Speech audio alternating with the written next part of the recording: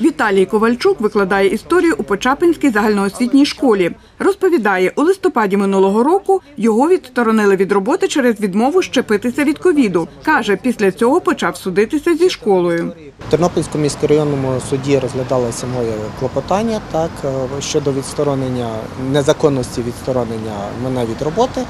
І відповідно е, це рішення було не на мою користь, і я вирішив подати апеляцію в Тернопільський апеляційний суд.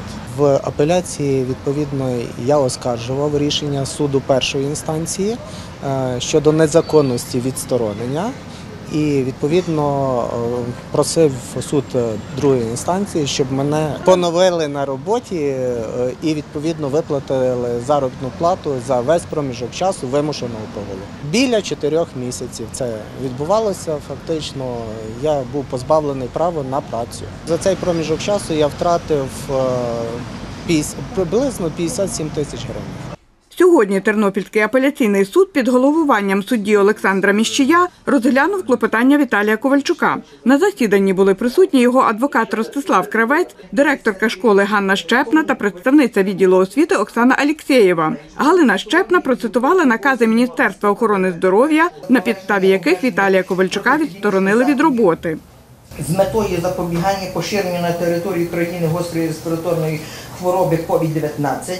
Саме керівникам підприємств, установ і організацій необхідно було забезпечити відсторонення від роботи працівників, обов'язковість профі- профілактичних щеплень проти COVID-19, яких визначена переліком та які відмовляються або ухиляються від проведення таких обов'язкових профілактичних щеплень шляхом видання наказу, що я як керівник закладу і зробила.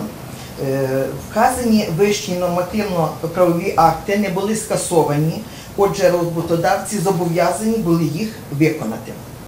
Галина Щепна просила суд відмовити у задоволенні клопотання Віталія Ковальчука. Її підтримала Оксана Алєксєєва. Адвокат Віталія Ковальчука Ростислав Кравець каже, його підзахисно відсторонили від роботи незаконно.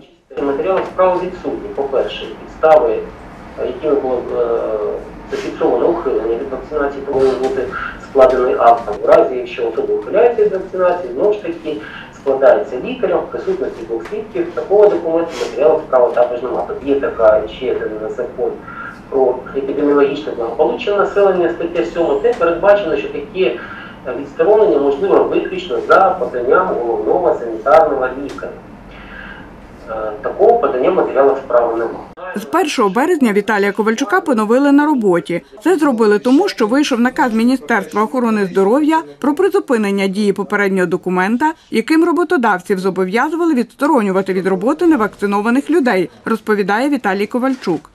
Я зараз відновлений на роботі до закінчення воєнного стану. Після закінчення воєнного стану право роботодавця знову ж таки буде в тому полягати, що мене можуть відсторонити від роботи. Апеляційний суд клопотання Віталія Ковальчука не задовольнив. Чоловік каже, звертатиметься до касаційного суду. За словами адвоката Ростислава Кравця, загалом його адвокатське бюро розглянуло 120 справ про відсторонення від роботи людей, які відмовилися щепитися від ковіду. 70 з них адвокати змогли виграти і людей поновили на роботі. Інші справи ще розглядають, каже адвокат. Скільки позовів щодо відсторонення від роботи через відсутність вакцинації розглянули суди Тернопільщини, невідомо. Любов Гадомська, Андрій Рабада. Новини на Суспільному. Тернопіль.